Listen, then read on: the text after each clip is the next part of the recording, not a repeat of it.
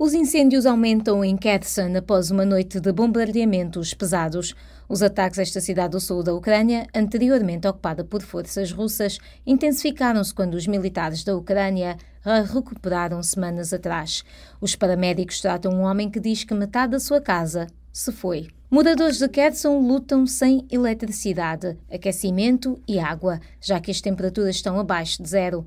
Eles carregam os seus telefones e acessam a internet em tendas.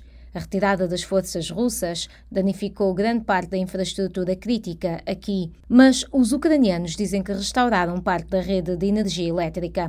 Enquanto isso, as potências ocidentais denunciaram as táticas do presidente russo Vladimir Putin na Ucrânia. Anthony Blinken, secretário de Estado americano, falou no domingo para a CNN. O que ele está a fazer é tentar fazer o inverno de uma arma. Apaga as luzes, desliga o aquecimento, coloca o povo ucraniano na escuridão e no frio à medida que chegam os meses do inverno. Isso é de facto bárbaro.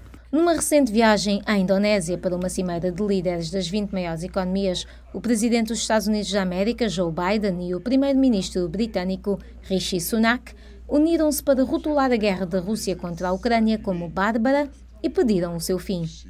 Na mesma reunião, o ministro das Relações Exteriores da Rússia, Sergei Lavrov, culpou a Ucrânia por exigir condições irrealistas para pôr fim à guerra. No final da semana passada, o grupo das sete principais economias e a Austrália uniram-se para aplicar uma nova pressão ao Kremlin para que se retire da Ucrânia, colocando um teto no preço do petróleo russo de 60 dólares por barril.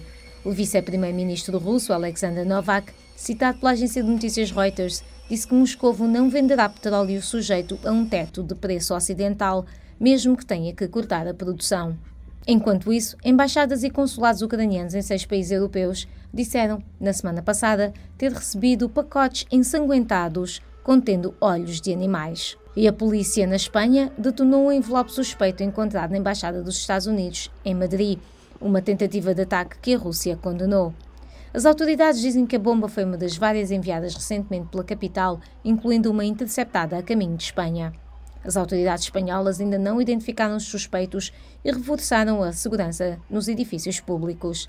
Separadamente, uma carta-bomba enviada à Embaixada Ucraniana em Madrid explodiu enquanto o pacote era manuseado, ferindo uma pessoa. O ministro das Relações Exteriores da Ucrânia, Dmitry Kuleba, descreveu o incidente como um ato de terror. Ao longo dos quase 10 meses de guerra, observadores dentro e fora da Ucrânia pediram investigações sobre os crimes de guerra russos. Na cidade de Kharkiv, alvo frequente de bombardeamentos russos, as autoridades construíram um cemitério para mísseis e munições. A Rússia nega ter alvejado civis na Ucrânia.